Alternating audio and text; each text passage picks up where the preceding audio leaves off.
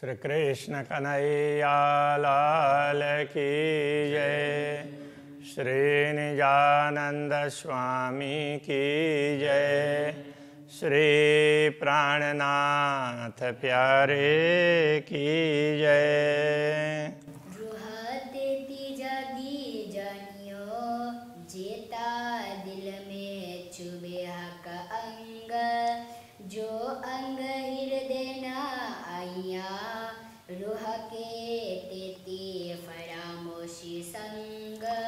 रूह के तिथि फरामुषि संग। श्री कृष्ण कन्हैया लाल की जय। पूर्ण ब्रह्म परमात्मा का स्वरूप हृदय में अंकित करने की बात कह रहे हैं। जैसे वो अंकित होता है तो उसके अनुसार आत्मा जागृत होती है। तो ये बता तो रहे हैं, पूर्ण ब्रह्म परमात्मा के अंगों को, उनका अंग ऐसे हैं, ये है, उन फिर उनको अपने हृदय में अंकित करके देखो। तो ये अभी तक वर्णन करके बताया पहले अंगों का, अभी तुम स्वयं देखो जागृत हो करके तो इससे तुम्हारी परात्मा जागृत होगी। तो वो समझा रहे हैं, ताथे जोरू आरसाजिम की सो क्यों न करे उपाय? यदि इस प्रकार से जागृति होती हो तो फिर परमधाम की आत्मा प्रयत्न क्यों नहीं करेगी? लेह का स्वरूप हृदय में ने और देवे सब उड़ाए, पूर्ण ब्रह्म परमात्मा के स्वरूप को हृदय में रख करके बाकी सब चीज़ को उड़ा देती है। कहने का तात्पर्य, दूसरे तरफ़ कहीं भी मन नहीं लगाएगी। अंतकरण की वृत्तियाँ इधर उधर नहीं भटकेगी, पूर्ण ब्रह्म परमात्मा के चरणों में लगाएगी और उनके स्वरूप को ही हृदय में अंकित करके उसी में मस्त रहेगी। इस बिना रुआ के दिल चुभे ना सूरत का प्रेम के बिना पूर्ण ब्रह्म परमात्मा का स्वरूप हृदय में अंकित नहीं होता है। मेहर जोश निश्वते हक चुभे, हक हुकुम चुभे मुतलक। पूर्ण ब्रह्म परमात्मा का स्वरूप हृदय में अंकित हो, उसके लिए कृपा, जोश, संबंध, इन सब की आवश्यकता है। इन सबसे भी विशेष क्या है? हक, हुकुम, चुभे, मुतलक। पूर्ण ब्रह्म परमात्मा चाहते हो, उनका आदेश होता है तो अवश्य ही उनका स्वरूप हृदय में अंकित होगा। उनके चाहे बिना संभव नहीं है। मोहे दिल में हुक्म यूँ कया, जो दिल में आवे हक मुख। तो पूर्ण ब्रह्म परमात्मा के आदेश से मुझे भी ये समझ में आई कि यदि मेरे हृदय में पूर्ण ब्रह्म परमात्मा का मुखमंडल अंकित हो जाता हो तो तो खड़ा होए मुख रूह का हकसों होए सनमुख। तो परमधाम में पर आत्मा का मुखमंडल भी जागृत होगा और पूर्ण ब्रह्म परमात्मा के स्वरूप का दर्शन करेगा उनके सम्मुख, क्योंकि परात्मा तो उनके सम्मुख ही बैठी हुई है। तो उनका मुखमंडल जागृत होगा और पूर्ण ब्रह्म को देख पाएगी। अधुर हरवटी नासिका दंत जुवा और गाल। तो मुखमंडल में क्या है? अधर है।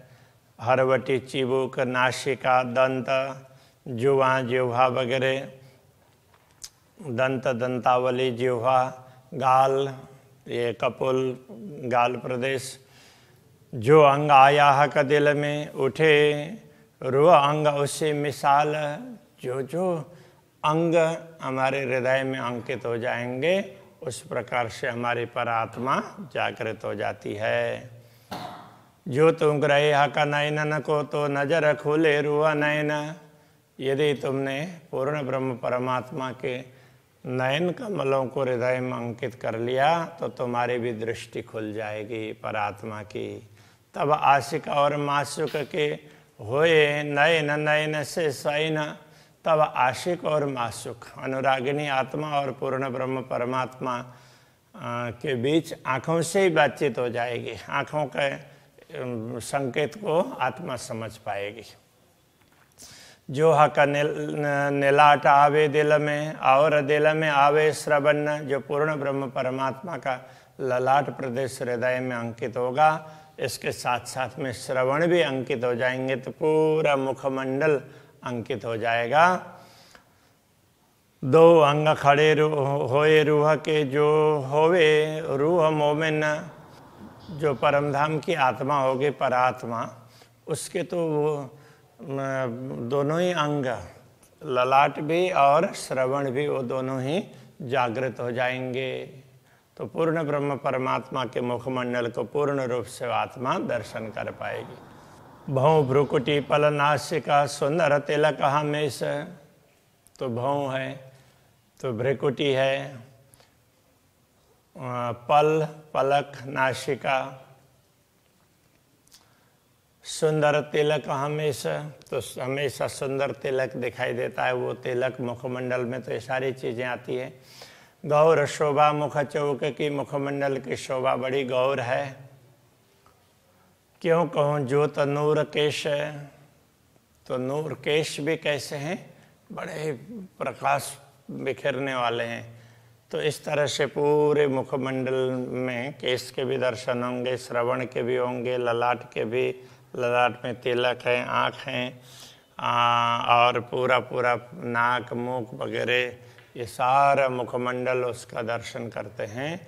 तो इस तरह से ये सारे, ये सब हृदय में अंकित हो जाएँगे। तो इस तरह से परात्मा का मुखमंडल भी जागृत होगा।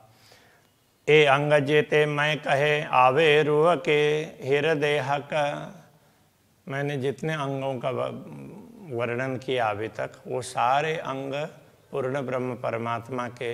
यदि आत्मा के हृदय में अंकित हो जाएँ तो ते ते अंग रूह के उठ खड़े हुए, बेशक वो वो अंग परात्मा के जागृत हो जाएँगे, खड़े हो जाएँगे, कहने का तात्पर्य जागृत होंगे।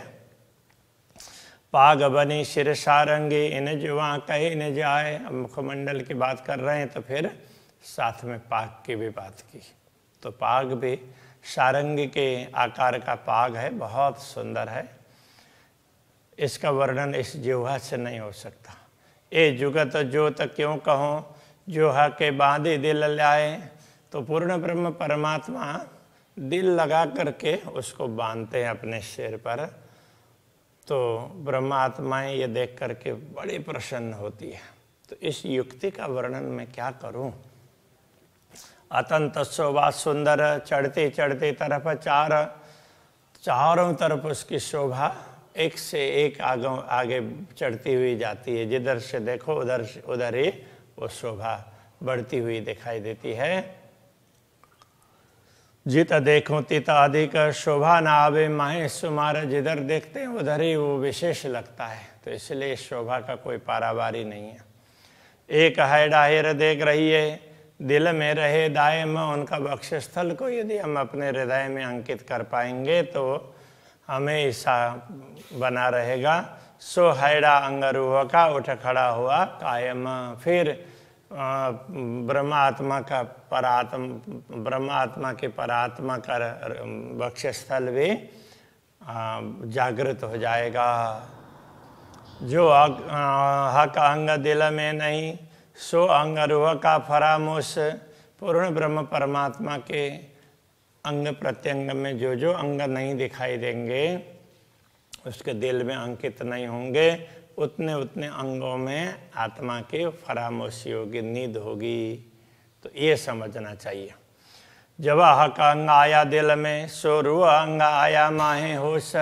जैसे ही पूर्ण ब्रह्म परमात्मा के अंग हृदय में अंकित हो जाते हैं तो फिर परात्मा के वे वे अंग होश में आ जाते हैं और काम करने लग जाते हैं।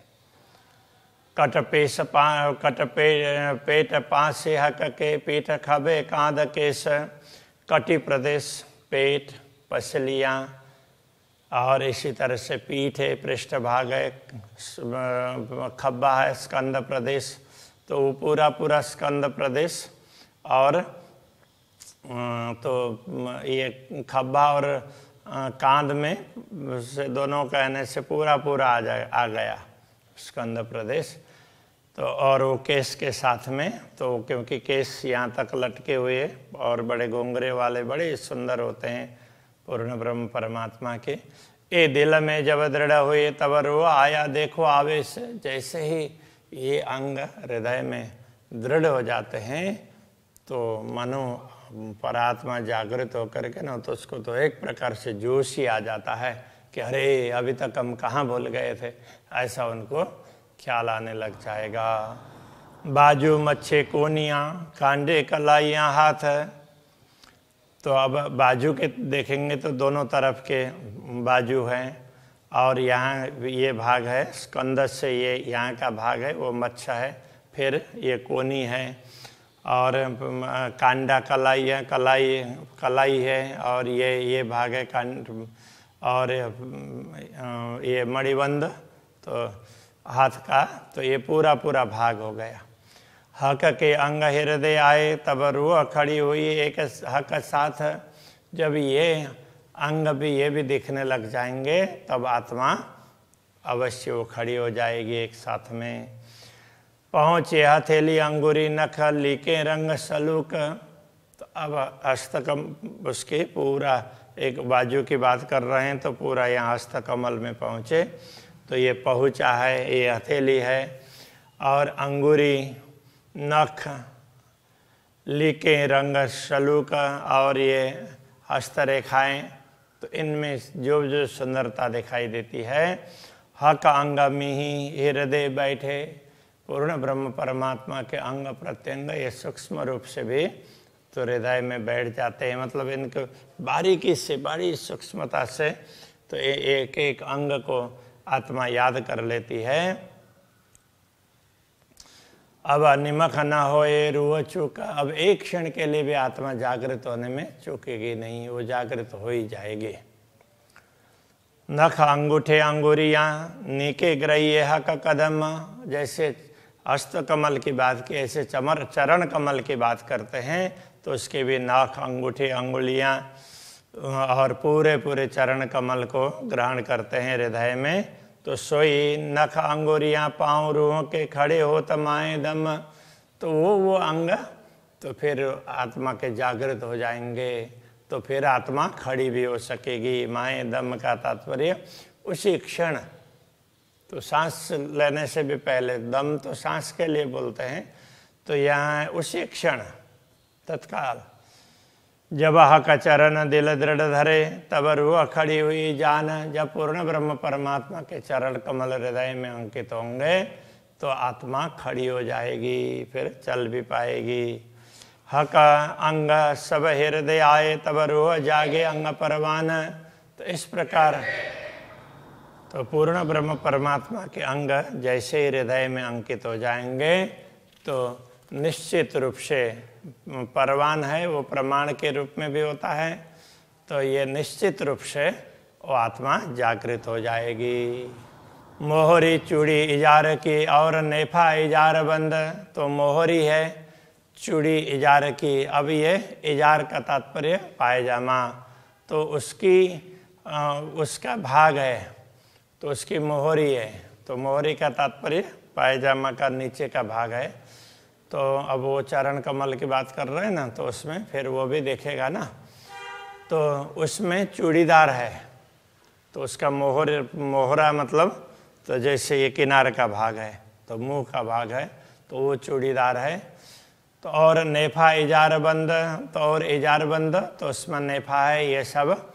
हरे रंग बूटी कई नकस तो उसमें वो जैसे ये इजार है तो पायजामा है, वो केसरिया रंग का है और उसमें फिर ऊपर जो नेफा है तो वो हरे रंग का तो उसमें भी अलग अलग प्रकार की बुटियाँ वगैरह हैं और उसमें फिर वो इजार बंद है, उसमें भी अलग अलग प्रकार के रंग हैं। तो कई नक्काशी किए हुए हों इस प्रकार से चित्रित हैं। ह के शोभित भले सनंद तो ये सब पूर्ण ब्रह्म परमात्मा के अंग में बड़ा ही शोभित है, सुशोभित होता है। क्यों कहूँ? जुगत जामे की अब ये, अब उसके ऊपर जामा है तो उसकी युक्ति पूर्व कैसे बताएँ?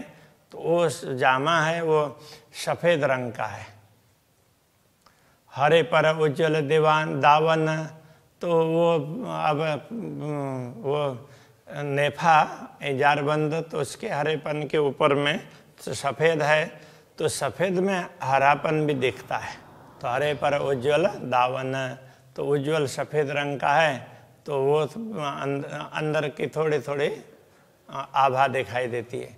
निपट शोभित मिही बेलियाँ, उसमें भी बड़ी सूक्ष्म रूप से बनी हुई लताएँ वगैरह ऐसी चित्रित हैं, वो भी बड़े सुंदर हैं।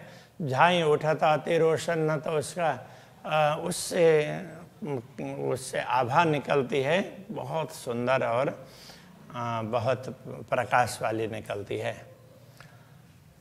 एक श्वेत रंग जामा कया तो एक श्वेत रंग का जामा ऐसा कहा, माए जवेर जुगत कई रंग, उसमें अलग अलग प्रकार के रंग के रत्न जड़े हुए मिलेंगे।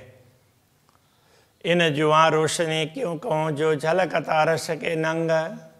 तो उनमें से जो प्रकाश निकलता है, उसका वर्णन क्या करें? तो ये तो परमधाम के रत्न है ना उनकी चमक तो दुनिया से अलग विशिष्ट प्रकार की होगी। दुनिया में तो प्रकाश से उनको देखना पड़ता है, उससे चमकते हैं, और परमधाम के ये रत्न हैं, स्वतः चमकते हैं। बीच पटुका कश्या कमर में तो अब कमर में बीच में पटुका बांधा हुआ है। रंग के, रंग कई विध छेड़े किनारा तो उसके किनार में कई प्रकार के रंग के रत्न वगैरह जड़े हुए हैं। बेली, नकस, फूल, केते कहूँ तो उसमें विभिन्न प्रकार की लताएँ अंकित हैं, फूल हैं ऐसे पत्ते वगैरह तो कितने उसका वर्णन करें। अवकाश भरियो झलकार, उसमें से जो झलकार चमक निकलती है, वो पूरे आकाश में छा जाती है। एक झलकार मुख कहता हूँ, माए, कई सलों की सुखदाय। मैं तो एक चमक की बात बता रहा हूँ, अपने मुँह से। वैसे तो उसमें इतनी सुंदरता है, माए, सलों की सुखदाय। बहुत आनंदित करने वाली सुंदरता उसमें है। सो गुना गर्भित न जुआ, रंग रोशन क्यों कहे जाए? ये सारे गर्भित गुण हैं। इस जुवा के द्वारा उनके रंग है, उनका प्रकाश है, उन प्रकाश की तरंगे उन सब का वर्णन ही नहीं हो सकता है। तो ये तो ऊपर ऊपर से प्रकाश बता दिया। जामा जुड़ बैठा, अंग पर कोई अचरज खूबी लेत तो ये जामा किस प्रकार से है कि मानो शरीर के अंग का, शरीर का एक भाग अंग की तरह से तो ऐसे जुड़ करके बैठा हुआ है। कोई अचरज खूबी ले तो उसकी विशेषता भी आश्चर्यजनक है। शोभा शलु की सुख क्यों कहूँ? और गौर पर जामा श्वेत, गौर, अंग गौर पर जामा श्वेत। शोभा शलु की सुख क्यों सुंदर शोभा की बात क्या करें? तो ये गौर अंग पर और वो श्वेत रंग का जामा और ज़्यादा सुशोभित हो रहा है। बगलों नकश के बड़े, कंठ बेली दो गिरवान। बगलों में दोनों तरफ़ ना ये बाजू में तो केवड़े का केतकी फूल की तरह से उसके बड़े, वैसे उसका फूल चित्रित है। कंठ बेली दो गिरवान। तो यहाँ पर ना ये वो जामा है कैसे है कि इस तरह से वो ऊपर नीचे होता है, इधर से और इधर से आता है ना तो यहाँ बाँध, बांधते हैं, इधर बांधते हैं। तो यहाँ दोनों ओर से ऐसे आता है। तो ये तो ये कंठ में बेली दो गिरवान। गिरवान है, वो भी गिरवा का ही है। तो ये जामे का गला तो वो, ये कंठ ये कंठ हो गया और जामे का भी गले में किनारी है ना तो वो दोनों तरफ़ से दो लताओं की भांति बड़ी सुंदर सुशोभित होती है। ए जुगत जो तो कहे जो कछु होए इन मान तो इस युक्त इस शोभा को ये इतनी सुंदर शोभा है उन, वो किनारे पर वो लताओं की तो उसका वर्णन तभी हो सकता है इस जीवा से जो कछु होए, इन मान उसका यदि कोई दूसरा कोई उदाहरण दिया जा सकता हो, तभी उसका वर्णन हो सकता है। उदाहरण तो दिया नहीं जा सकता। कटाव कोतकी कांद कांद पीछे, स्कंद प्रदेश के पीछे बाग में भी ना तो वो कोतकी, केतकी, केवड़े का फूल है, उस तरह के चित्र चित्रित हैं। ऊपर फुंदन हारों के और ऊपर वो हारों के फुंद फुदने हैं। तो वो हारों के, उसमें जो हार की गांठ है तो उसमें से लटकने हैं। तो झुमके लट, झूल रहे हैं, लटक रहे हैं तो उस तरह से। रूह जो जागृत अरस की सुख लेसी बखाइत है, जो आत्मा पर, परमधाम की आत्मा यदि जागृत होगी तो उसको सारे दृश्य दिखाई देंगे और वो आनंदित होगी। बाहें चूड़ी और मोहरियाँ, चूड़ी अचरज जुगत तो बाह में चूड़ी है बाह बाह में चूड़ी है और उसमें भी मोहरी तो ये उसमें ये जामे की मोहरी है, किनार है। चूड़ी अचरज जुगत तो वो भी चूड़ी की तरह से दिखाई देती है, और आश्चर्यजनक ऐसा होता, चूड़ी तो है ही साथ साथ में वो भी इस प्रकार से चित्रित है कि वो भी चूड़ी जैसी लगती है। निपट मिही मोहरी से चढ़ती चढ़ती शोभित, और वो चूड़ी है, मोहरी से भी और ज़्यादा सुशोभित होती है। आए वस्त्र हृदय हक के रुआ अपने पहने बनाए, जैसे पूर्ण ब्रह्म परमात्मा के अंगों के वस्त्र वगैरह ब्रह्मात्मा के हृदय में अंकित हो जाते हैं। तो ब्रह्मात्मा के वस्त्र, उनको लगता है कि हमने भी वस्त्र पहने हुए हैं, वो भी सब जागृत हो जाते हैं। तेती खड़ी रुआ होता है, जेता दिल में हक अंग आए, क्योंकि आत्मा उतनी ही खड़ी होगी, जागृत होगी तो जितने पूर्ण ब्रह्म परमात्मा के अंग उसके हृदय में अंकित होंगे। तो जैसे जैसे उनके वस्त्र आभूषण भी दिखने लगेंगे तो तो वस्त्र आभूषण भी पहने हैं, ऐसा लगेगा। बाकी पहने तो हैं, किंतु सब भूले हुए हैं। तो अभी ये याद करने की बात बता रहे हैं। पाँच अनंग माए कलंगी, अब सिर में पाग है और कलगी है तो उसमें भी पाँच अलग अलग प्रकार के रत्न हैं। तामे तीन नंग ऊपर, उसमें से तीन ऊपर हैं। एक मध्य, एक लगता एक मध्य है और एक कलगी से लगता है। पाँच रंग ज्योत बराबर तो कलगे में ये ये पाँचों रत्न के रंग हैं, वो समान रूप से प्रकाशित होते हैं। ये जो कलगी सिर पर लटक रही सुखदाय, सिर पर ये कलगी है ऐसे ऊपर से ऐसे मुड़ करके ऐसे लटकती है तो बड़ी सुंदर लगती है। जो भूषण, रूह नज़र भरे तो जानो अरवा देवे उड़ाए, यदि इन सारे आभूषणों को दृष्टि में लेते हैं और हृदय में अंकित करते हैं तो मानव आत्मा इस शरीर को छोड़ करके तो परम धाम में पहुँच जाएगी, ऐसी स्थिति होती है। सात नंग माए दुग दुगी, सो सातों जुदे जुदे रंग तो अब वहाँ ये कलगी के साथ में फिर पाग में ना, इधर इधर दुग दुगी है ऐसे ऐसे लटकने से तो वो अलग से और मोतियों की लड़ियाँ वगैरह हैं तो उसमें सात रंग हैं। जो सातों जुदे जुदे रंग तो सात रत्न हैं तो अलग अलग रंग के हैं। चढ़ती ज्योत आकाश में करत माहो, माहे जंग, उनसे भी प्रकाश निकलता है तो वो सीधा आकाश में पहुँच जाता है और वो अलग अलग प्रकार के रंग एक दूसरे से द्वंद्व करते हो, ऐसा लगता है। ऐसी सुंदर शोभा अक्षरातीत हमदनी के वस्त्र आभूषणों की है। तो उन सबको हृदय में अंकित करते हैं तो आत्मा जागृत होती है। ये कहना चाह रहे हैं। तो अभी यही रखते हैं। श्री कृष्ण कन्हैया लाल की जय। करत माहो माहे जंग। सात नंग माहे दुग दुगी सो सातों जुदे जुदे रंग। चढ़ती जोत आकाश में करत माहो माहे जंग।